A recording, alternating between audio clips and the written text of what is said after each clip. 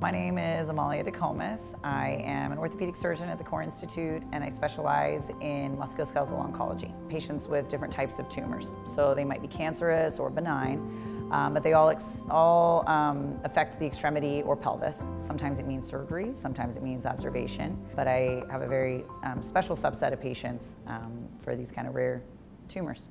There's a very rare type of cancer that, that I deal with called a sarcoma that can start in the bones and in the soft tissues. And definitely in those cases, we can cure.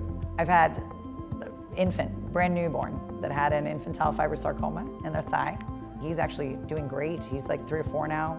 He's disease-free, walks without any sort of assistive device. You'd, you wouldn't have any idea that he'd even had that surgery as a baby. I've treated patients over 100, either with metastatic cancer, I had a 99 year old with a sarcoma of her thigh that we ended up treating because you would think, why would you want surgery when you're 99? And this might be a little graphic, but some of these tumors can start bleeding and cause real problems. She was an independent woman living at home with her family.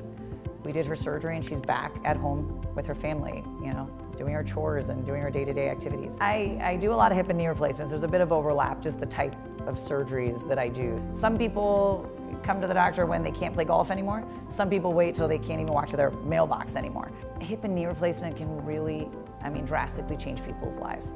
You'd be amazed how people have to give up taking care of their grandkids, stuff that they just can't do anymore. And uh, within a couple months, people can be back doing things they hadn't been able to do in a really long time. From the minute I started working here, and one of the things that drew me here, I, I feel like we're a team, and I feel like everyone has a voice.